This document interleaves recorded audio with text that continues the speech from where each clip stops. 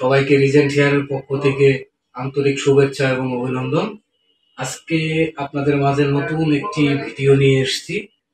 আমাদের কাছে অনেকে প্রশ্ন করেন বা আমরা রিজেন্ট হেয়ারের পক্ষ থেকে দায়িত্ববোধ হিসাবে এই ভিডিওটা করা। যারা নন সার্জিক্যালে হেয়ার রিপ্লেসমেন্ট করেছেন, ঠিক তাদের আজকের এই ভিডিওটা খুবই গুরুত্বপূর্ণ। তারা এই ভিডিওটি দেখে তারা অনেক কিছুই জানতে পারবে। সেই আলোকে আজকে আমাদের এই ভিডিওটা। ভিডিওর প্রথমে আমি এখানে দেখতে পাচ্ছেন কিছু আমাদের এক্সেসরিজ আছে। আজকে এক্সেসরিজ নিয়ে আপনাদের সাথে কথা বলব। অনেকে হেয়ার রিপ্লেসমেন্ট করার পর হেয়ারটা কিছুদিন পর হার্ড হয়ে যায়, এরপরে সিল্কিনেসটা থাকে না। এটার একটা কারণ। অনেকে বলে থাকেন, হেয়ার রিপ্লেসমেন্ট করার পর কিছু এক্সেসরিজ আছে, সেই এক্সেসরিজগুলো যদি আমরা ব্যবহার করি, তাহলে সব সময় হেয়ারটা সিল্কিনেস থাক, থাকবে, সব সময় সফট থাকবে। তো সেই আলোকে আজকে আমি দেখাবো আপনাদেরকে।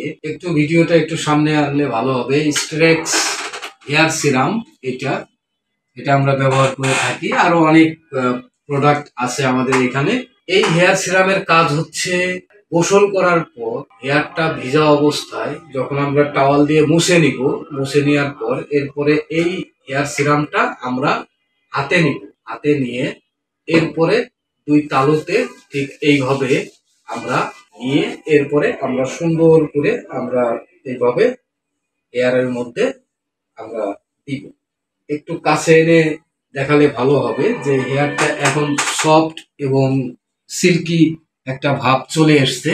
এই হেয়ার সিরামের কাজটাই হচ্ছে আপনার হেয়ারটাকে সফট এবং সিল্কি করবে সব সময়। এই হেয়ার সিরামটা ব্যবহার করলে যারা নন সার্জিক্যালে হেয়ার রিপ্লেসমেন্ট করেছেন, প্রত্যেকেরই হেয়ার সিরামটা ব্যবহার করলে ভালো হবে।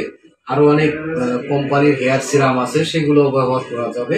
তো আশা করি হেয়ার সিরামের যে কার্যকারিতা, এই সম্বন্ধে আপনারা জানতে পারলেন, এই হেয়ার সিরাম কীভাবে ব্যবহার করবেন সে সম্বন্ধেও জানতে পারলেন এবং হেয়ার সিরামের আসলে কাজ কি, সেই সম্বন্ধেও আপনারা অবগত হলেন। এরপরে আমাদের এই ধরনের টিউটোরিয়াল ভিডিও আমরা দিতে থাকব আমাদের ফেসবুক পেজে, ইউটিউবে, ইনস্টাগ্রামে হোয়াটসঅ্যাপে আমরা এগুলো দিব।